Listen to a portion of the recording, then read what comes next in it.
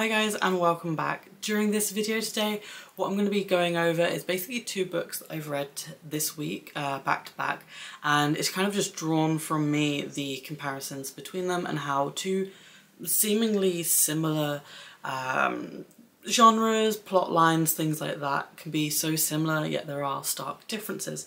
And this will also pull into just kind of my uh, monthly review of all the books that I've read this month. Now, just a disclaimer, there is going to be some subjects in this as one or two of the books, well, yeah, two of the books basically have one extreme to the other um, in terms of grim, dark, spiciness, and things like that. So yeah, let me get into the two books that I've read this week for you guys.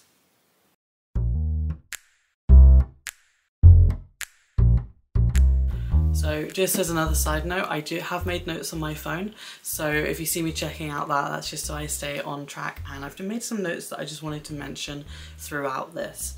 Now, the two books that I've read this week back to back um, would be The Poppy War by R.F. Kuang um, this book was recently done in a recent haul of the ones. Um, I believe it was the second video on my channel. And then this one I didn't actually do uh, a haul on, but I did buy it shortly after the Poppy War, and that is The Fourth Wing by Rebecca Yarros. Um, yeah, so basically what happened is I read The Poppy War first, and then this one second. Um, in terms of reading speed, so I did find that The Fourth Wing is a lot easier to read than The Poppy Wars. Um, the Poppy Wars took me a good half of the book to really get into. I'd say it took me probably about five days to read in total. Um, the first three days was just the first half, honestly, getting through.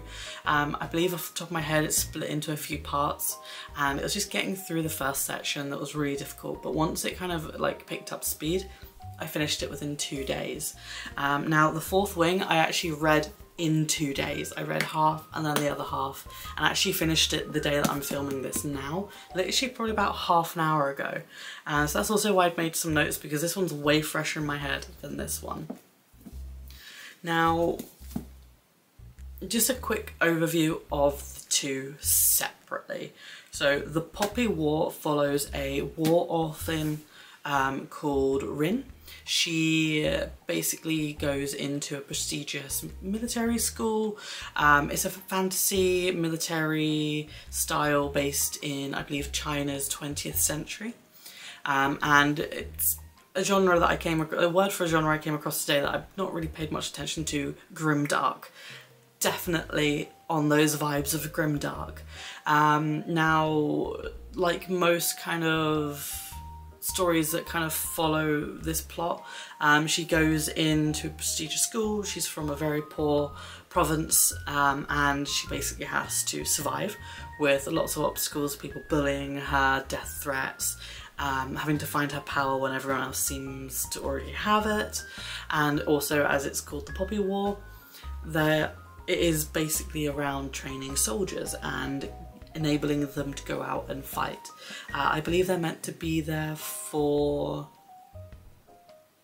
three years um, and during that time they're to train, hone in on skills and they basically cut their numbers after the first year um, and you get chosen into a subject, which is the one you would specialise in. Now in this book, she gets chosen um, for two and picks one, I believe, and she basically goes down one of the more questionable routes to, compared to her peers and discovers ultimate power, basically. Um, and it does follow along lines of fighting to survive. Uh, there is some slight love interest. Um, it doesn't really turn into a relationship, it's more of butterflies fluttering around your stomach. Um, you know, you look at someone, you're just like, oh wow, but that quickly disappears. The main theme of this story, I would say, is the violence. Um, as soon as you hit kind of the halfway button point, you get thrown into the fighting and it does get very graphic. It describes um, war injuries and battle injuries human torture, both alive and dead. And there is also mention of rape. and the rape in the story is very descriptive. So yeah, if I wouldn't recommend this as a teen book, um, if you know you're looking at a child to read it or you're looking at it for yourself and you know you're not into that stuff or can't read it, um, I'd say some of the description is on par with Game of Thrones, um, just as a really good kind of baseline, but I would say some of it is above that just from the way they tell it and so far it's just yeah I feel like with Game of Thrones they build up to this um, on this one they really don't. It goes from quite a slug of a story to get through the history and the building of characters and basically I felt that it took me a while to connect to a lot of the characters in the story. I'm like, okay, cool, this person's a cool person, but why do I care? And then until the second half, I was like, that's why I care. Okay, but even then, towards the end, during the ending, um, it definitely goes up in a blaze of fire. And anyone that's read it would know what I mean by that. Um, but I don't know, there was some towards the end where people, some things happen to certain characters and I'm like, why do I care? Because I don't. So yeah, on Goodreads at the moment it's got a 4.17 star, which is pretty good. I would probably give it a four star, maybe just a flat four, nothing special. Um, yeah, that's it really on that one.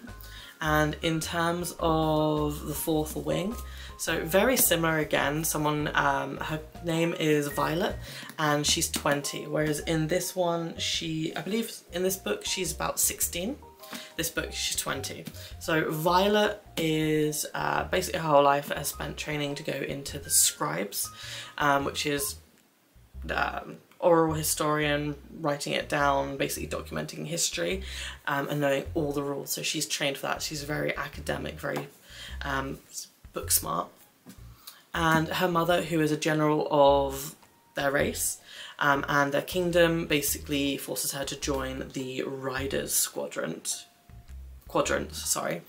And from the start, it's a fight to survive. She's often described as weak, frail, not going to survive, and there's several characteristics um, where she has to overcome just a lot of things. Uh, there's a lot of rules in there as well, and it's team-based, so even people inside of her team can't kill her, but people outside the team who see her as a wing kiss link, and even then that doesn't stop some of them from just trying to kill each other. Um, so yeah, this book, I would say from the start, I mean, within the first chapter, there are people dying, and it's just a matter of life in the book. You get to the point after reading it, a, chapter and a half, where you're just like, another one's dead.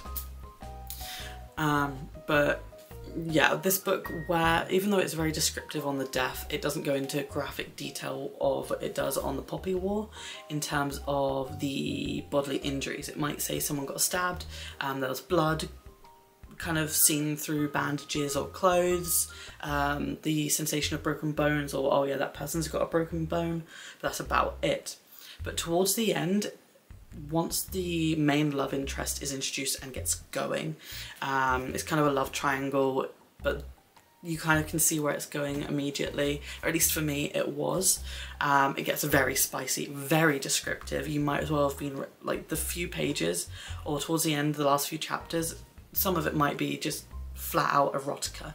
Um, again, it is a high fantasy.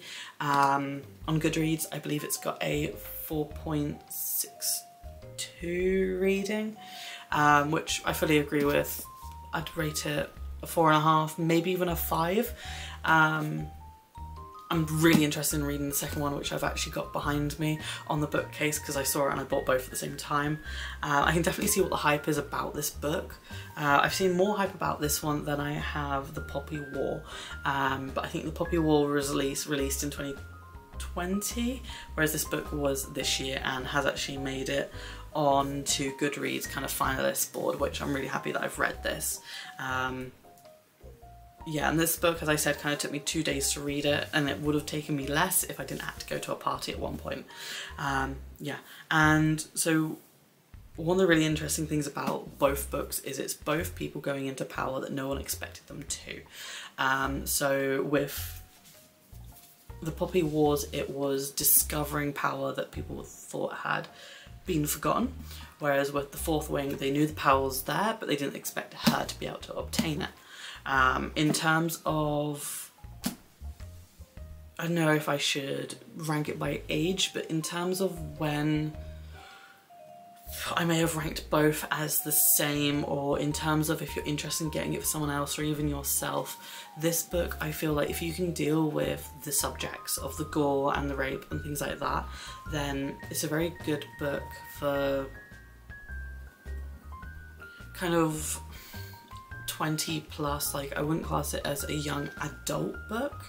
Um, but at the same time, if you don't mind or if you're into horror or things like that where it does you know, you're not squeamish, you're not uncomfortable by those things, definitely a good read. Whereas The Fourth Wing, you know, I, would quite happily give this to a teenager. Um, I'd have loved reading this in my teenage years, honestly. Um, but then again, in my teenage years, I read the entirety of True Blood. Um, so, and that's quite graphic, very pornographic in some cases. So it's honestly just kind of your own vibes and what you're looking for there. Um, I'm definitely interested in reading both the next ones. This one probably first because I've already got it. This one I'd have to go out and buy and I'm currently broke.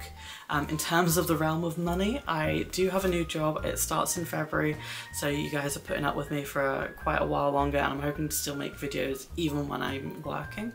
Um, yeah, and I know the next video coming out is probably going to be a wrap up of this month, maybe even this year. I'd have to look back on the books I've just noted down that I've read. Um, but yeah, if you guys want a deep dive on any of these or another comparison to the books, um, let me know. Even if there's a book that you think from what I've said about either of these two that are similar that you'd be interested in hearing me about, talk about, just let me know. Um, yeah, a bit of a shorter video today, but that's fine. I will catch you guys later yeah, so if you guys could like, subscribe and leave a comment, that would mean a great deal to me. Okay, thank you. Bye.